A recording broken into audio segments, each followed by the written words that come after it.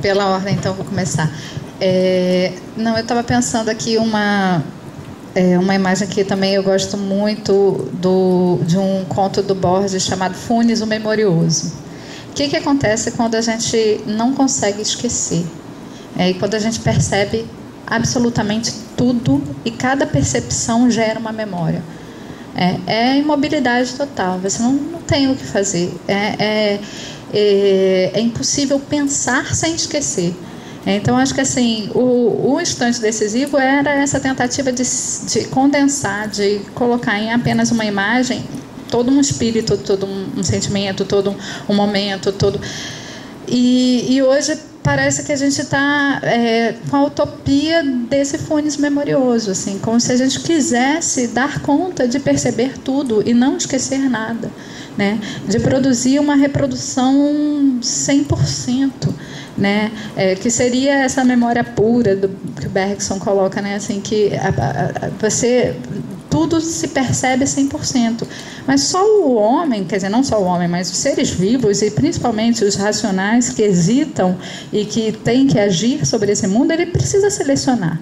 Ele não pode é, perceber tudo, porque se ele perceber tudo, ele não percebe nada, né? Assim, ele, ele fica é, é completamente imerso no passado e, e, no presente como passado. Né? Então, acho que, é, eu acho que esses instantes, assim, são instantes meio que memoriosos nesse sentido de também de, de, de, uma utopia que acaba gerando uma distopia, né? Assim, a, essa tentativa de, de, de se lembrar de tudo gera necessariamente o esquecimento, não o esquecimento, é o embotamento, né? Assim, é, é, seria, é preciso, acho que Nietzsche também fala isso, né? É preciso esquecer para pensar, né? Para lembrar também, certo? O esquecimento é uma dádiva, é uma autodefesa, né? Embora o esquecimento que a gente vai com a idade é ruim, viu? Vai dar aula, não lembra mais de nome, esquece datas, não lembra mais nada. Precisa escrever tudo. É. É, a questão do, do tato e do olfato, né, é, precisa definir bem o que é linguagem, porque a gente fala assim, bom, uh, tenho três, três cores primárias e posso construir todas as cores. Eu tenho a escala tonal e posso, sei lá, eu tenho a, o alfabeto posso. Agora, no olfato não tem isso daí ainda, né? Mas apesar que na indústria química tem o, o digital que permite isso daí, tem um nariz artificial. Tem pesquisa assim, então para ver se o produto não está estragado. Então ele tem, sente aquele cheiro e detecta até que ponto que. Né, então tem um nariz artificial, vai lá, tanto de, sei lá, de elementos químicos, ele detecta e fala, oh, isso daí está estragado, isso aqui não. Mas não chega ainda a ser uma linguagem, ele detecta alguma coisa. Interessante seria falar, ó, oh, tem tantos produtos químicos que geram todos os cheiros. Daí a partir dessa tabela você começa a montar a linguagem. Fala, eu quero produzir tal cheiro. Aí pega um pouco disso, um pouco disso. Perfume eu não conheço. Né? Para o cinema seria uma maravilha, né? Você já pensou? Produzir, produzir. É o que o cinema também né, busca um pouco essa questão. Mas talvez o digital possa até, se, se a gente encontrar que fala, ó, tem esses elementos químicos que misturados produzem todos os cheiros. Aí começa a criar uma gramática. Né? O tato é muito mais complexo, né? Essa questão da memória, ficou lembrando, né? O cheiro é o que traz as memórias mais profundas, mexe, né? Então, seria interessante ter um aparelhinho de gravar e reproduzir cheiros. cheiro não, mas gosto sim, né? Gosto e cheiro é muito próximo, né? E gosto a gente já consegue fazer gosto de qualquer coisa, né? A indústria alimentícia, ela consegue o aroma artificial disso, daquilo, daquilo outro, isso é uma coisa completamente. já está no domínio da linguagem. Eu é, vou precisar que você repete a última frase que você me perguntou. Tá, ou perguntar de outra maneira. Não, eu achei muito. Me chamou muita atenção na sua fala a mudança do papel do músico na medida em que você não tem intermediação do intérprete, né? Que ele faz uma música que de alguma maneira manipula diretamente som. Sim.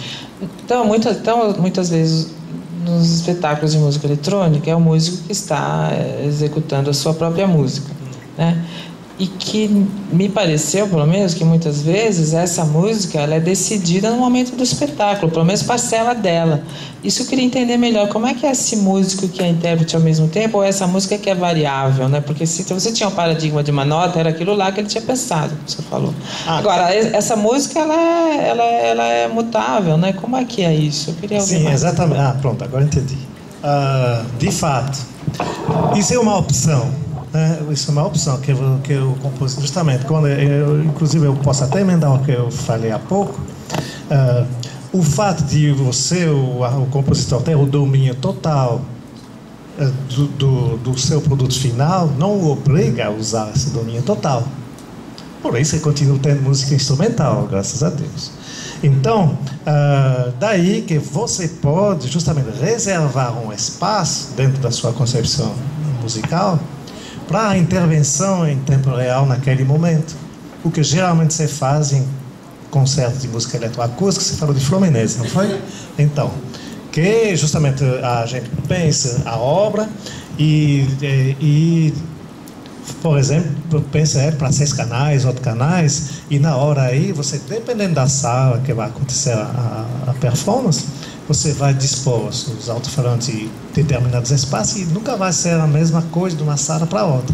Então, ali nessa sala você intervém para sua música reagir ou agir em relação ao espaço da forma que você achar mais conveniente. Então, você, então, pronto, na verdade, não sei se eu respondi satisfatoriamente, você pode, se quiser, se reservar um espaço de interpretação, embora a tecnologia permita que não haja mais esse espaço. Ok? Só completando, falando aí, eu me lembrei, é, existe, é, se a gente compara música e artes visuais, aconteceu dois caminhos inversos. Nas artes visuais, a, o, o, artista ele sempre dominou completamente a sua obra, ele nunca precisou de um intérprete. Né? Mas na arte contemporânea existem casos de performance em que você pensa uma obra e são outras pessoas que vão desenvolver aquilo. Então é engraçado, aí eu estou vendo dois caminhos que são inversos. Né? Sim. Bom, gente, eu acho que já discutimos bastante hoje, né? Eu acho que os convidados estão bastante cansados, vamos deixá-los repousar. Agradecendo então a presença de todo mundo. Lembrando mais uma vez, dia 27 e 28, novo encontro em João Pessoa. Para conhecer os convidados, detalhes sobre as comunicações, eu convido todo mundo a acessar o site www.10dimensões.net, que vai ser a partir de agora o nosso encontro cotidiano, né? Assim, é, pelo menos enquanto durar o evento e até depois disso. Né? O site vai continuar e a gente pode então continuar esse, esse diálogo, que inclusive vai ser muito no, no, no formato de blog, não é isso, é, é, Fábio? Então vocês vão poder reagir, a, enfim, essa discussão pode continuar também pelo site. Muito obrigado, boa noite.